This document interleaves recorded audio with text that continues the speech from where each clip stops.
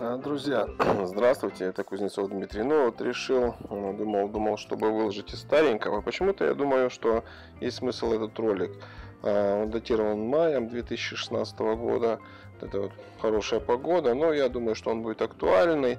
Кто меня еще лично не видел, не знает, может быть, будет интересно меня увидеть, наконец-то заочно познакомиться. А, вот, посмотрите, ситуация остается по-прежнему э, злободневно актуальной и острой. То, что я здесь рассказываю, по большому счету, наверняка будет любопытно, в частности, новым подписчикам нашего канала. А с мая 2016 года их в значительной степени прибавилось. Кто не видел этого ролика, пожалуйста, вашему вниманию, как нас обманывают банки. Здравствуйте, друзья! В сегодняшнем обращении на свежем воздухе в таком прекрасном месте в Санкт-Петербурге, в Парке Победы, я решил э, совместить приятное с полезным. Э, Я отвечу на ваши вопросы, которые мне подготовили мои помощники. Ну и, собственно говоря, подышу свежим воздухом в конце рабочего дня. Итак, есть вопросы. Один из них и самый основной. Как нас обманывают банки? Ну, виды обмана спрашиваете очень часто. Друзья мои, ну, давайте сразу определимся, да, кто мы, что мы. Мы, юристы, ведем только легальный бизнес, 100% законные решения.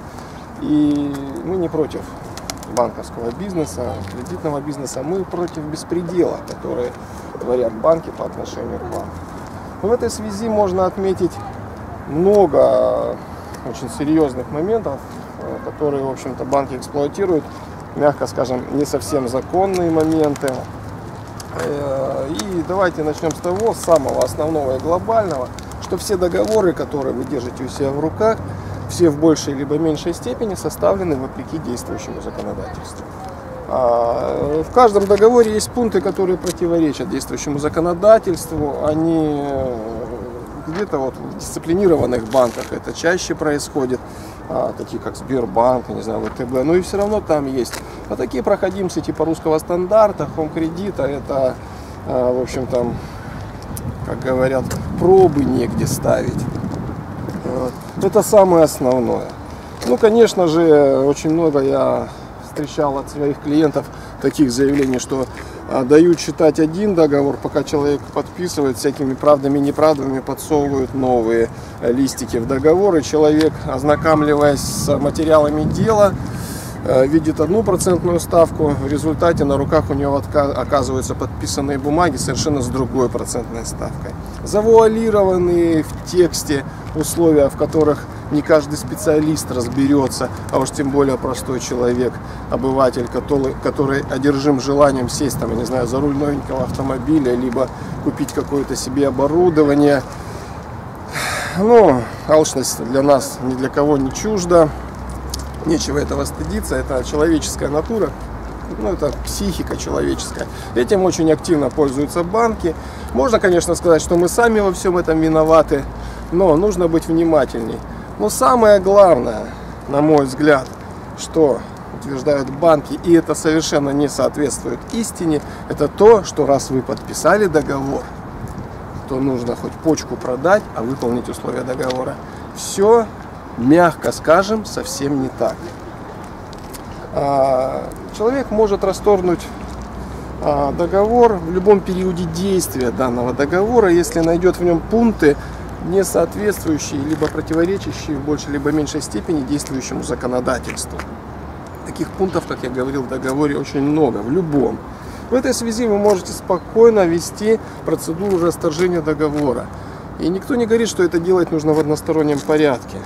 Само собой, банк а, не согласится расторгать договор, не пойдет к вам навстречу. Банк это достаточно серьезная структура, там работают юристы. А, Но не нужно забывать, что проведя грамотную досудебную, скажем так, э, грамотный досудебный этап, вы можете легко в суде предъявить претензию на расторжение договора, который в принципе может э, быть квалифицирован как ничтожным в связи с тем, что он не соответствует э, действующему законодательству хотя бы в одном пункте. А, Вот, вот э, таким образом можно ответить на этот вопрос. А, углубляться там в какие-то отдельные эпизоды обмана банков, банков, банками вас, это ну, на самом деле дело неблагодарное, потому мы можем потратить очень много времени и в итоге не получить э, правильного ответа. А правильный ответ запомните один раз и навсегда. Во всех договорах есть пункты, которые противоречат действующему законодательству. Их вычленить, выявить не так трудно, но где-то может понадобиться помощь специалиста, а где-то и они очевидные. Вот таким образом.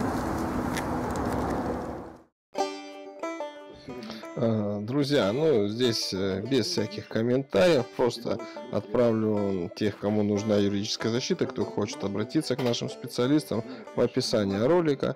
Там есть ссылочка на наш сайт, на сайте выложена э, значит, презентация, как работают наши специалисты, что сколько стоит, к чему вас приведем, э, какие изменения в вашей жизни, собственно, вас ожидают.